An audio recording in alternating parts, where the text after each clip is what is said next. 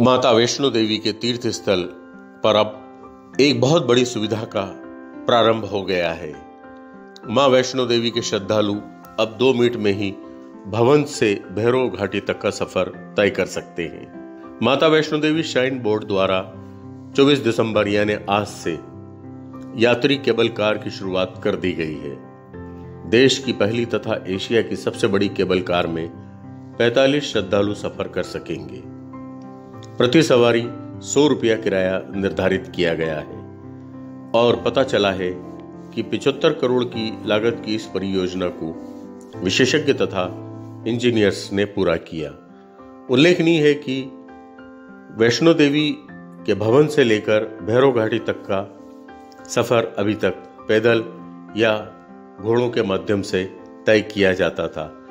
लेकिन अब इस सफ़र को इतना आसान कर दिया गया है कि आप मात्र दो मिनट में भवन से भैरव घाटी तक पहुँच सकते हैं। इस तरह से माँ वैष्णो देवी में एक बहुत नई सुविधा आरंभ हो गई है।